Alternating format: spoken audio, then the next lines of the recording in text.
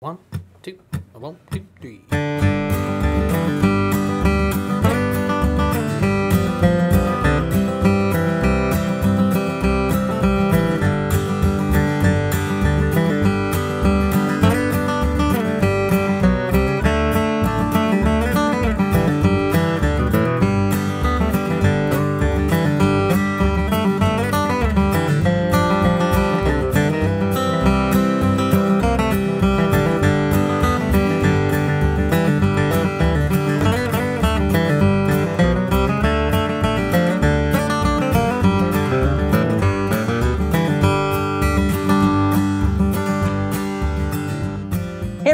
For checking out the lesson here for Worried Man Blues in the key of G. We're gonna start breaking down that first arrangement right now. We'll bring the camera on in, put the tabs up on the screen. If you'd like to access the full length version, plus download the tabs and the audio tracks, click the link in the description below. Also, if you enjoy these videos, please subscribe to my YouTube channel. Let's go for it. Thanks for watching.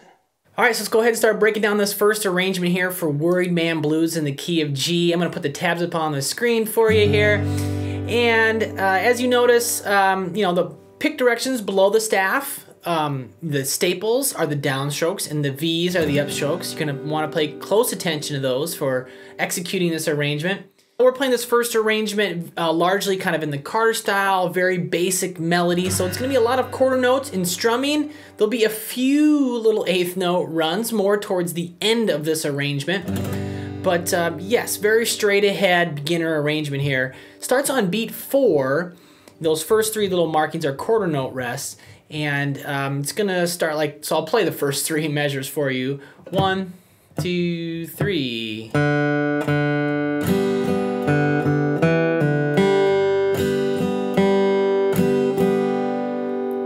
Very straight ahead. So again, starting on beat four with the open D string.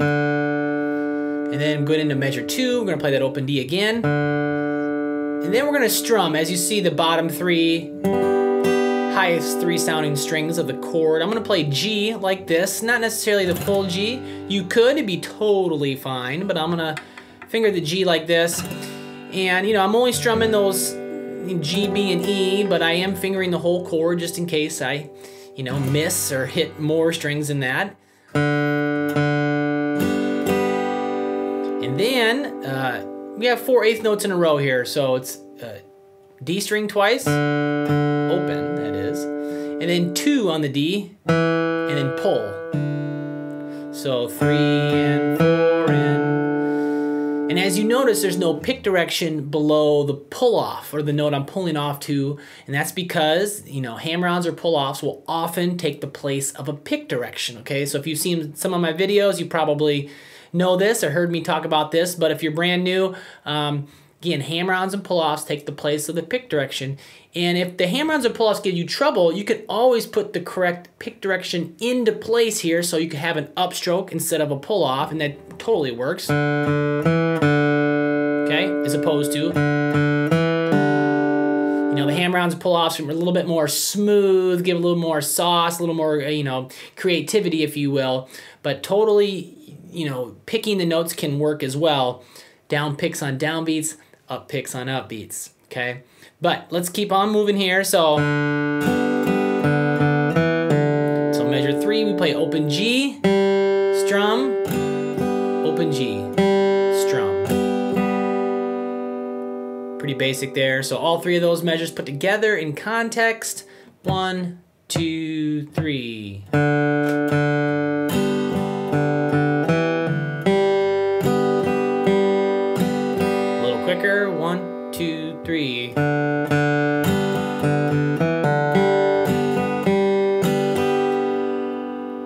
Right, moving forward, measures four, five, and six. They sound like this. Two, three, four.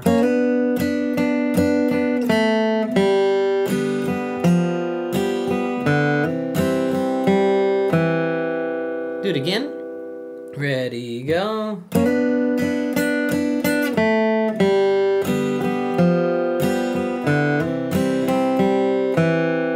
Okay, so measure four, we've got some double stops there, and they're very common. We use them all the time in bluegrass and acoustic guitar all the time. And it's gonna be three on the B with the first finger, four on the G with the second finger.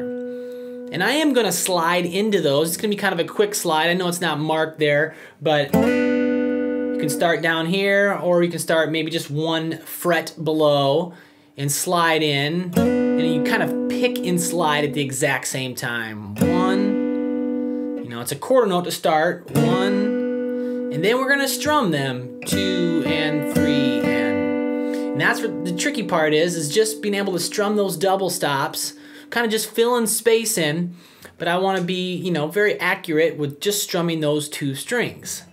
One, two, and three, and then I go down to the second fret. Okay, second fret G.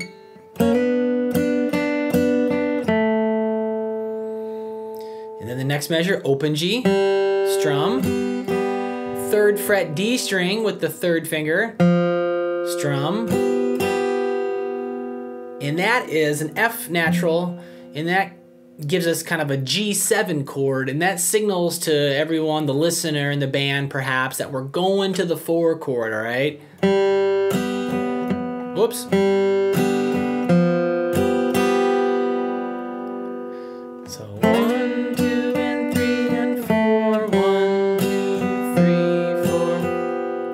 Measure, zero to hammer on the D. And then we finger our C chord and strum it.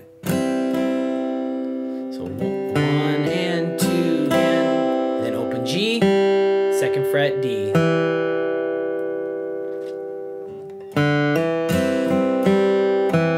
So I put all three of those together. Do,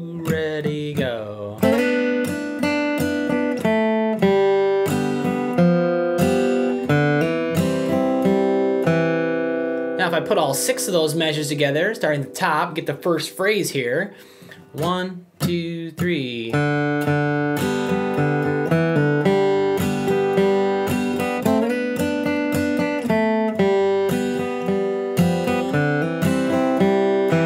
missed my uh, F note there. I missed the G7 chord, but that's all right.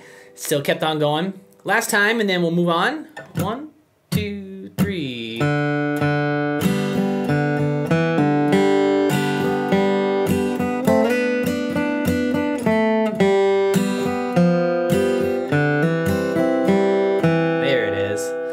so let's move on to measure 7, 8, and 9 now. We're still over the C chord. And uh, yeah, they sound like this. Two, ready, go. And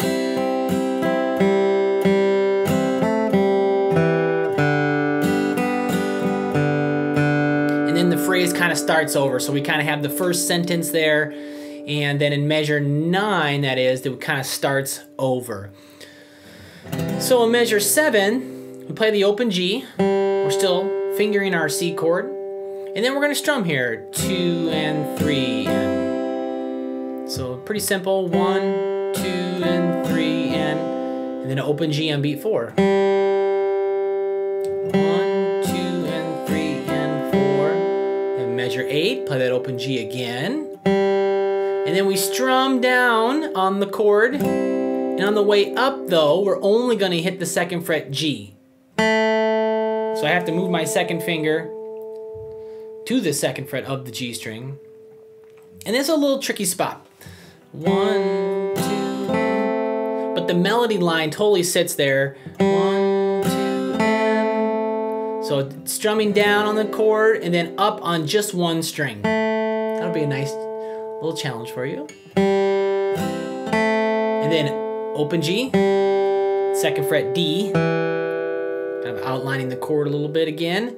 And then the next measure, open D, finger the G chord. Two and three and, and then open D on beat four. So, do that again, those three measures. Two, ready, go.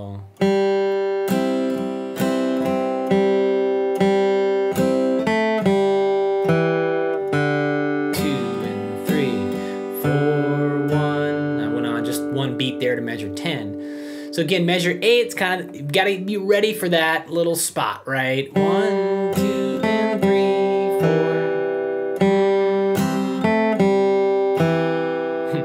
uh, it's starting to remind me of another tune right now. But the melody is there for the Worry Man Blues. And